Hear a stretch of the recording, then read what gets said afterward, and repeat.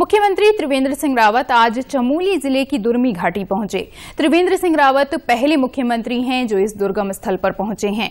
दसौली block में स्थित दुर्मी घाटी में दुर्मी ताल सत्तर के दशक में पर्यटन की दृष्टि से विश्व प्रसिद्ध था।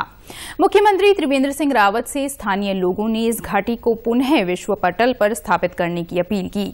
मुख्यमंत्री ने गंभीरता दिखाते हुए गैरसैंण में दुर्मी ताल के जीर्णोद्धार की घोषणा करते हुए 25 लाख रुपए की टोकन मनी जारी की। मुख्यमंत्री ने दुर्मी निजमुला घाटी में एक प्राथमिक स्वास्थ्य केंद्र खोलने और बद्रीनाथ विधानसभा क्षेत्र के विकास के लिए बुनियादी सुविधाओं संबंधी लगभग एक दर्जन घोषणाएँ की। उन्होंने कहा कि राज्य सरकार पहाड़ की महिलाओं की आजीविका सुधारने के लिए योजना बना रही है। आगामी बजट में इसके लिए धनराशि की घोषणा की जाएगी। दरअसल दुर्मी घाटी में चौदह ग्राम पंचायतें शामिल हैं। घाटी की जनसंख्या लगभग आठ हज़ार है। विकास और बुनियादी सुविधाओं की दृष्टि से इस घाटी में अभी बहुत कुछ होना बाकी है। यहाँ की जनता पिछले कई वर्षों से सन 1970 की बाढ़ में क्षतिग्रस्त हुए दुर्मीताल के जीर्णोद्वार की मांग कर रही थी। इसके बाद मुख्यमंत्री चमोली जिला मुख्यालय गोपेश्वर पहुँचे। मुख्यमंत्री ने कलेक्ट्रेट सभागार में जिला स्तरीय अधिकारियों के साथ विकास कार्यों की समीक्षा की। उन्होंने जिला योजना के तहत ज़िले में पिचासी प्रतिशत धनराशि व्यय करने पर संतोष जताया। इस दौरान उन्होंने पहाड़ी संग्रहालय, जिला प्रशासन द्वारा संचालित निःशुल्क प्रेरणा कोचिंग सेंटर का भी निरीक्षण किया।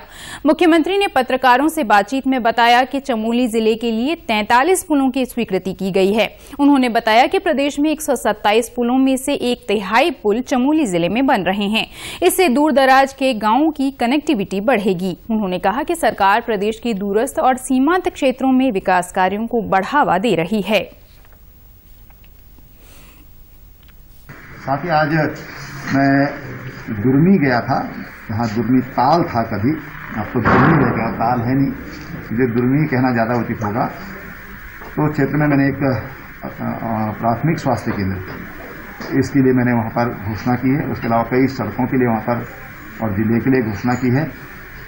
आ, मेरी कोशिश रहती है कि जो हमारे दूरस्थ क्षेत्र हैं प्रदेश के उन क्षेत्रों में जाया जा सके।